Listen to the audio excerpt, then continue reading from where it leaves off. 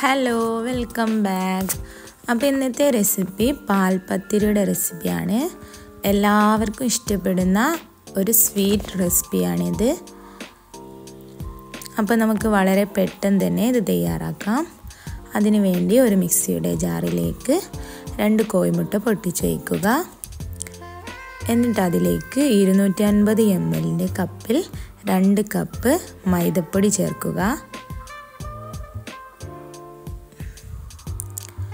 ഇനി ഇതിലേക്ക് ഒരു നുള്ള് ഉപ്പ് ചേർക്കുക. ഇനി ഇതേ കപ്പിൽ മൂന്ന് കപ്പ് വെള്ളവും ചേർത്ത് നന്നായിട്ട് ഒന്ന് അടിച്ചെടുക്കുക.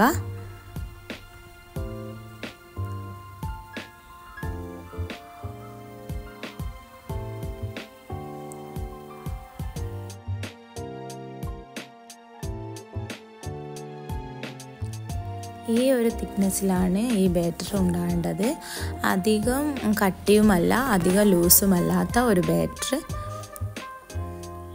ഇനി നമുക്ക് ഒരു പാൻ അടുപ്പത്ത് വെച്ച് ചൂടായതിന് ശേഷം ഒരു തവി ബാറ്റർ ഒഴിച്ച് നമുക്ക് ദോശ പോലെ ചുട്ടെടുക്കാം.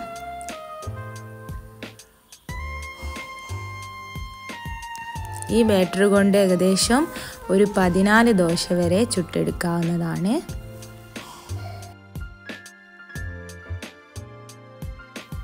അപ്പം നമ്മുടെ ദോശയെല്ലാം ഇവിടെ റെഡിയായി.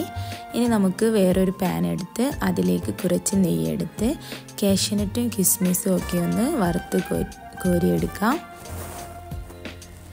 ഇതിലേക്ക് വേണ്ട ഒരു ഫില്ലിങ്ങിന് വേണ്ടി ഒരു മിക്സിയുടെ ജാറെടുത്ത് അതിലേക്ക് നാല് മുട്ട പൊട്ടിച്ചൊഴിച്ചതിന് ശേഷം ഇതിലേക്ക് രണ്ട് കപ്പ് പാൽ കൂടി ചേർക്കുക. ഇനി ഇതിലേക്ക് കുറച്ച് ഏലക്ക പൊടിച്ചതും ചേർക്കാം അല്ലാതെയും ചേർക്കാം. അതുകൂടി ചേർത്തിട്ട് ഇതിലേക്ക് മധുരത്തിനാവശ്യമായ പഞ്ചസാര ചേർക്കാം. ഞാനിവിടെ ഒരു മുക്കാൽ കപ്പ് പഞ്ചസാരയാണ് ചേർത്തിരിക്കുന്നത്. ഇത് നന്നായിട്ടൊന്ന് അടിച്ചെടുക്കാം. ഇനി ഇതിലേക്ക് നമ്മൾ നേരത്തെ കാഷ്യനട്ടും കിസ്മിസും വറുത്ത നെയ്യ് കൂടി ചേർത്ത് കൊടുക്കാം. ഇനി ഇതിലേക്ക് ഒരു കാൽ കപ്പ് ക്യാരറ്റ് ഗ്രേറ്റ് ചെയ്തത് കൂടി ചേർത്ത് കൊടുക്കാം. ഇത് ഓപ്ഷണലാണ് ഇഷ്ടമുള്ളവർക്ക് ചേർക്കാം. ഇത് ഈ പാൽപ്പത്തിയിൽ ഇടയ്ക്കിടയ്ക്ക് കടിക്കുന്നത് നല്ല ടേസ്റ്റാണ് ഇനി ഇത് തയ്യാറാക്കാൻ വേണ്ടി ഒരു കെറ്റീനെടുത്ത് അതിൽ ബട്ടർ പേപ്പറും നെയ്യൊക്കെ സ്പ്രെഡാക്കിയതിന് ശേഷം അതിലേക്ക് ഓരോ ദോശ വെച്ച് കൊടുക്കാം. അതിന് മുകളിലായി ഈ മിക്സ് ഒഴിച്ചു കൊടുക്കാം. ഇങ്ങനെ റിപ്പീറ്റായിട്ട് എല്ലാ ദോശയും നമുക്ക് ചെയ്തെടുക്കാം.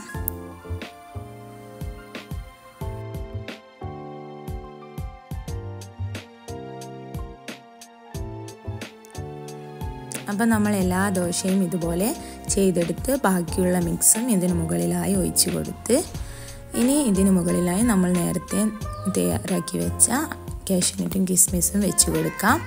ഇനി പത്ത് മിനിറ്റ് ചൂടായ ഒരു വട്ടയിലേക്ക് നമുക്ക് ഇത് ഇറക്കി വെച്ച് കൊടുത്ത് ഒരു മണിക്കൂർ വരെ മീഡിയം ഫ്ലെയിമിൽ വേവിച്ചെടുക്കാം. അപ്പം നമ്മുടെ പാൽപ്പത്തിരി ഇവിടെ റെഡിയായി ഇനി ഒരു മറ്റൊരു പാത്രത്തിലേക്ക് മറിച്ചിട്ടതിന് ശേഷം ഇതിന്റെ ബട്ടർ പേപ്പറൊക്കെ എടുത്ത് കളയുകയാണ്. അപ്പം നമ്മുടെ പാൽപ്പത്തിരി ഇവിടെ റെഡിയായി മധുരമൊക്കെ ഇഷ്ടപ്പെടുന്നവർക്ക് നന്നായി ഇഷ്ടപ്പെടുന്ന ഒരു റെസിപ്പിയാണിത്. അടുക്ക് പത്തിരി എന്നും ഇതിന് പറയും.